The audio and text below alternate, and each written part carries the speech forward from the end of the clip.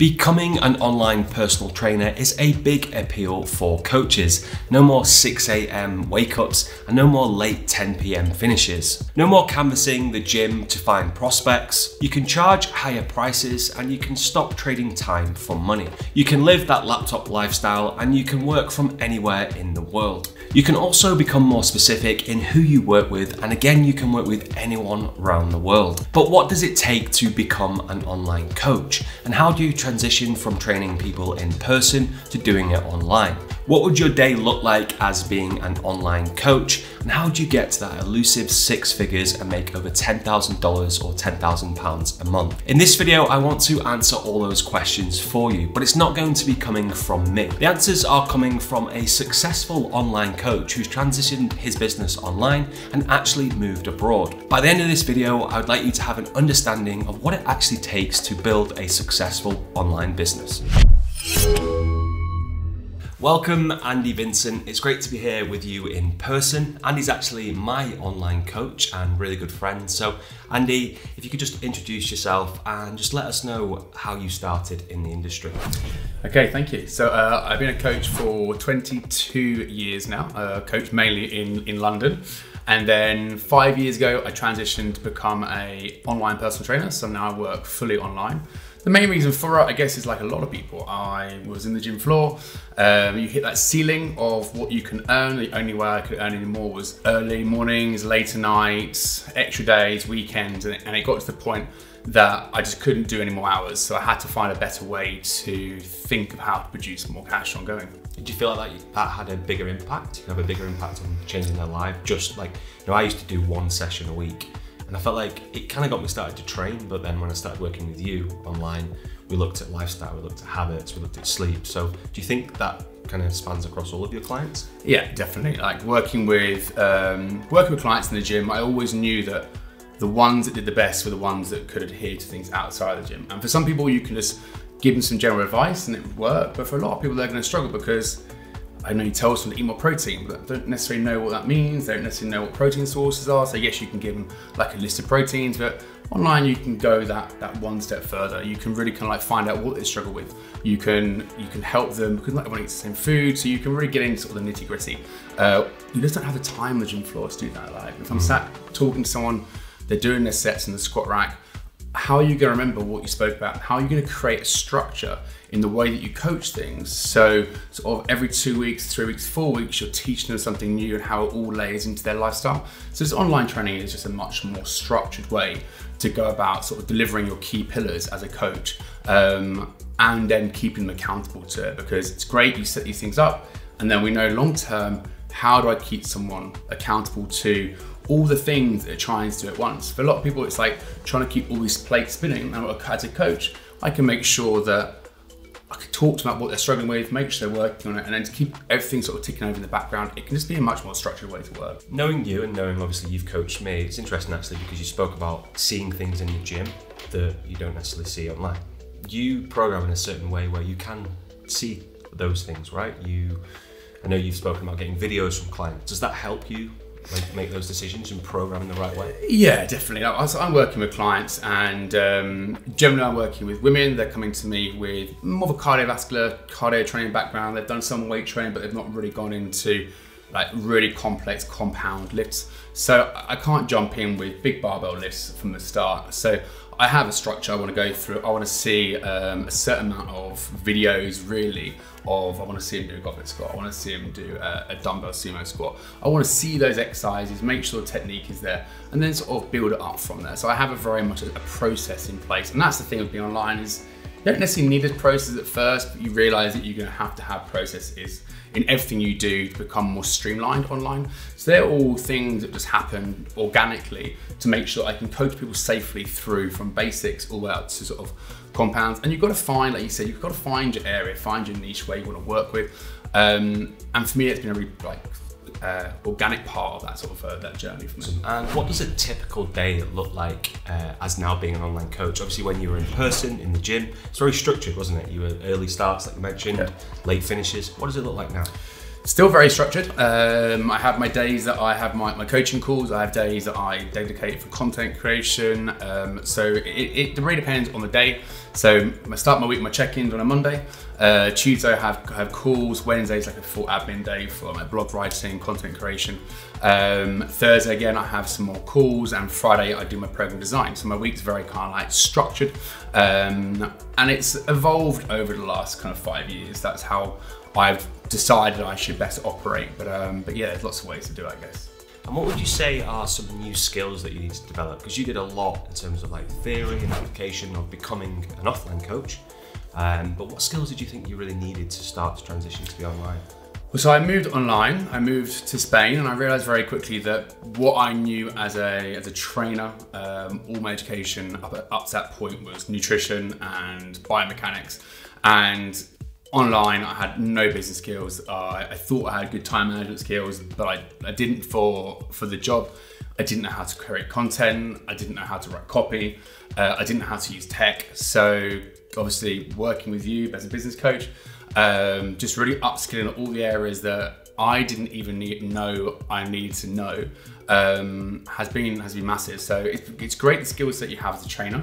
Um, some of those do transition online really well, but actually a lot of what you need to know isn't the stuff that you are taught in a gym. So it's uh, it really is that business content creation, um, and yeah, and, the, and how to manage your time, how to set boundaries. Awesome. Yeah, some good advice there. So, how do you think in-person training compares to online training? Because I think that's where a lot of coaches don't quite understand online training. Like, you know, you, you've coached in the gym, but then how does that compare to going online? For me, it was kind of an easy transition to go because I was doing my in-person training and I was doing my nutrition work online as part of like a hybrid model in the gym. So for me, it made a kind of clear blueprint to run across because yes, you can't do the, the technical coaching, but actually, a lot of what I was doing with my coaches that made the most change and the worth in their life was setting their routines for them, helping with nutrition, uh, talking about things like a, a just lifestyle structure that when you're in person, it's really hard to do. So online, yes, of course, you can't do technique work to the nitty gritty you can do in person, but you can you can really round the edges of your services. So for those that are looking to lose weight, build muscle, uh, change their lifestyle, get better habits, when you're sat at home, working with them, sending emails, setting routines for them. It, it, can just be a much more like holistic service. Whereas I found that in-person training was just about the workout, one, two, three times per week. Whereas I can affect people's lives on a much greater level over the course of working with them. What would you say you love the most about online coaching? Oh, just the freedom and the flexibility. Obviously, we're sat here in my house in Ibiza. Yeah. Um, the ability to, to, to move away from London to I haven't woken up to an alarm clock in the last like three years. Um, I can go for lunch whenever I want to. I can do like your time is then like you said at the start. Like you're not trading time for money. It's not. I have to do eight, ten hours of back-to-back training to try and generate a certain amount of income. Um, you've got effectively an endless amount. Like if you've got all these different options, obviously you can charge more. You can create different payment structures. It's just so much more open. But for me, more than anything else, it was just the freedom to uh, to get out of the the need to live and work in a city? A bit of a loaded question, but what do you miss the most about in-person training? Do you miss it at all? No, I do miss it. Yeah, I do miss in-person training. I miss the, um, I miss being around a network of uh, really well-educated trainers. Um, I've got a really, I've created one of the things I noticed as I moved away from from London is it's not having the ability to sort of talk to lots of coaches sort of bounce some ideas off them and, and sort of learn in that circle that you get in person. So I have worked to generate that uh, background support network. And I do miss sort of like the technical coaching of certain lifts.